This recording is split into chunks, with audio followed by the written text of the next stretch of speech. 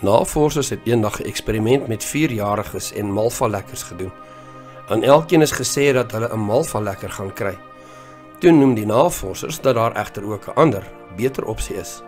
Aangesien die navorsers gou iets op 'n ander plek moet gaan doen, kan diegene wat dit so verkies, eers wag voordat hulle die eerste malvalekker eet. Dan by sy terugkeer kan elkeen wat gewag het om die eerste een te eet, twee ekstra malvalekkers kry. Die navorsers was skaars weg. Toe stop party van die kinders die malva lekkertjie in die mond.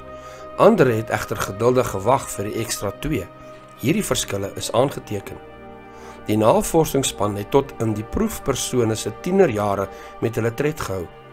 Die wat as kleuters bereid was om vir die ekstra malva lekkers te wag, was uiteindelik beter aangepas en beter leerders en met meer selfvertroue as die wat nie vir die ekstra lekkers wou wag nie.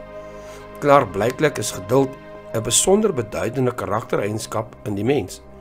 Belangrik en deurslaggewend. Geen wonder die Bybel sê ons aan om dit aan te kweek nie. Van dese week bekyk ons die moeilikste redes vir die moeilikste van alle vier doop en smeltkroese, die uitdaging om te moet wag. Waarom moet 'n mens soms lank wag om bepaalde dinge te ontvang? Watter lesse kan ons daaruit leer om geduld in 'n smeltkroes en vuurdoop aan die dag te lê. Bestudeer hierdie week se les as voorbereiding vir Sabbat 10 September.